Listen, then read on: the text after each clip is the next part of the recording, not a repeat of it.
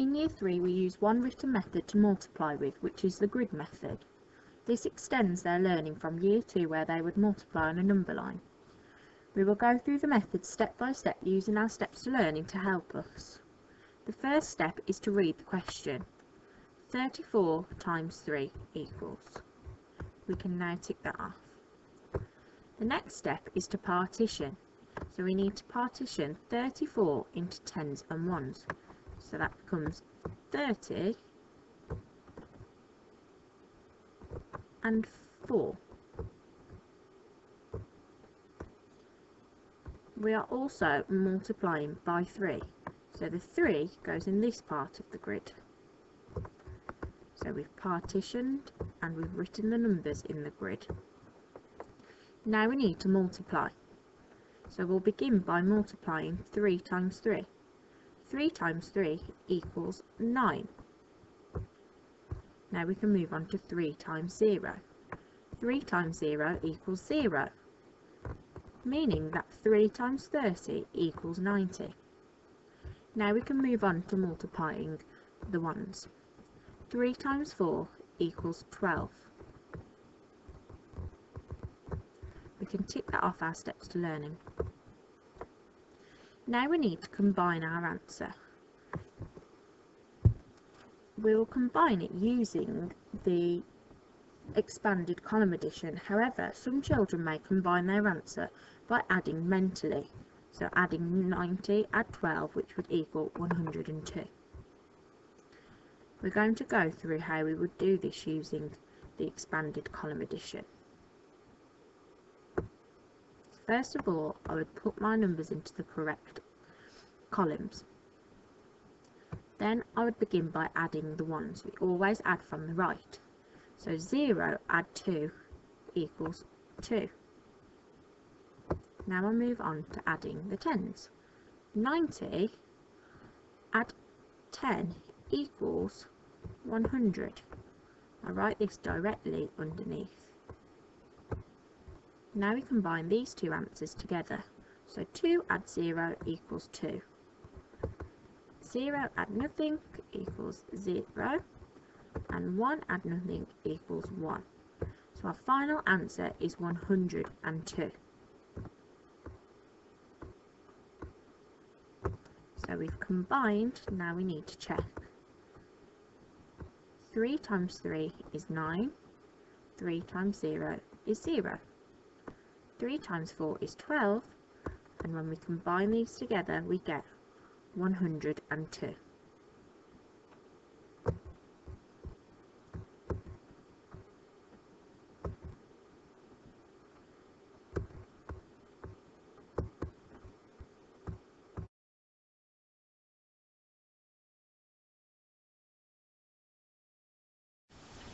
We teach four methods of multiplication in Year 4, moving on from the grid method in Year 3 to the expanded and compact column methods.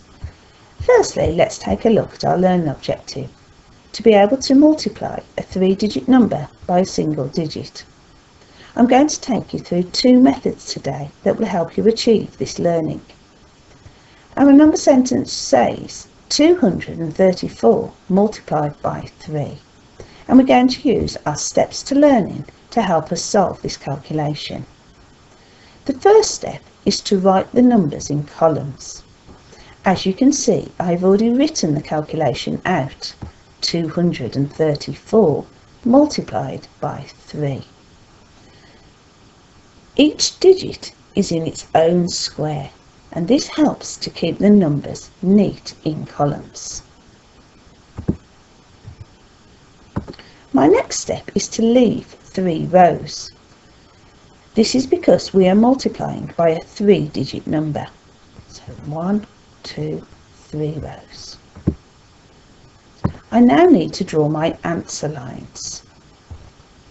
Doing this with a ruler helps to keep our learning neat. Next, we need to start multiplying. As you are aware from previous learning, we always start from the right. We are going to start here in the ones column. So 4 multiplied by 3 equals 12. So the 2 goes in the ones and the 110 in the tens column. We then move on to the tens column and I have three tens, which is 30, multiplied by 3. 30 multiplied by 3 equals 90. So I'm going to write my 9 in the tens and 0 in the ones. The next column is the hundreds. I have 200 and I'm multiplying this by the 3. 200 multiplied by 3 equals 600.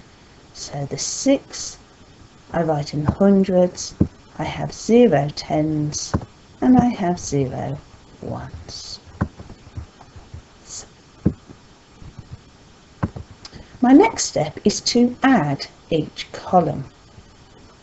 Starting at the right in the ones. 2 add 0 add 0 equals 2. 110 add 9 tens equals 10 tens. So I put a 0 in the tens and I carry the 100 across. In the hundreds column, I don't have any hundreds here. I have 600, add the 100, makes it 700. Have, have I added each column? Yes, I have. Did I need to carry? Yes, I did. My final step is to check. 2 add 0 add 0 equals 2. 110 add 9 tens equals 10 tens. And 600 add the 100 gives me 700. 234 multiplied by 3 equals 702. And 2 and I can tick the final step off. The second method I'm going to share with you uses the same number sentence but this time I'm going to demonstrate the compact multiplication method. The first step is to write the numbers in columns. Again, I have already written the calculation out with each digit in a square to help keep the numbers in neat columns. My next step is to draw the answer lines. Doing this with a ruler helps to keep our learning neat. Next, we need to start multiplying. As you are aware, we always start from the right. We are going to start here in the ones column. 4 multiplied by 3 equals 12. So I write the 2 in the ones column and I carry the 10 underneath. 3 tens multiplied by 3 equals 90. Add the 10 underneath equals 100. So I write the 0 in the tens and I carry the 100 underneath. 200 multiplied by 3 equals 600. Add the 10 underneath is 700. Did I multiply from the right? Yes. Did I need to carry? Yes, I did. The final step is to check. 4 times 3 equals 12. 2 carry the 10. 30 multiplied by 3 equals 90. Add the 10 equals 100. 0 carry the 100. 200 multiplied by 3 is 600 add the 100 underneath 700. Following these steps to learning, you will be able to achieve the learning objective of being able to multiply a three-digit number by a single digit using the expanded and compact methods of short multiplication. You will then be ready to extend your learning further by using long column multiplication.